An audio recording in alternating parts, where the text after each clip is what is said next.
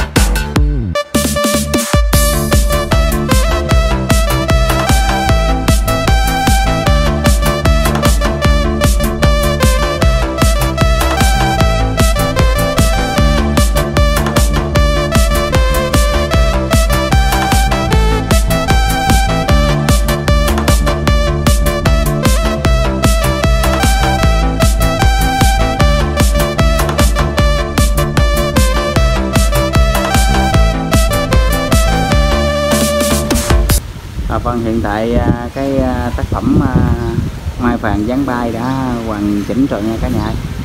Cả, cả nhà xem thì cũng đừng có quên để lại một like và đăng ký kênh ủng hộ kênh bonsai liền nữa nha cả nhà. Cái này mình đã định hình hoàn thiện rồi nha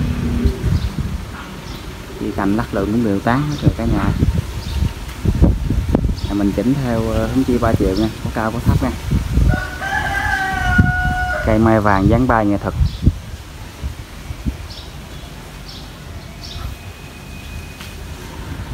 Chi này mình chừa là dạng như để cho nó phá cách chơi nha cả nhà. Đây. Cây nói chung là cây đẹp cây nha. Hoành hoành bự nhưng mà gió cây luôn đầu gió đuôi chuột luôn nha. Lớn và nhỏ dặn. Rồi, ở đây thì phải nghĩa xin chào cả nhà nha. Và hẹn gặp cả nhà clip sau à.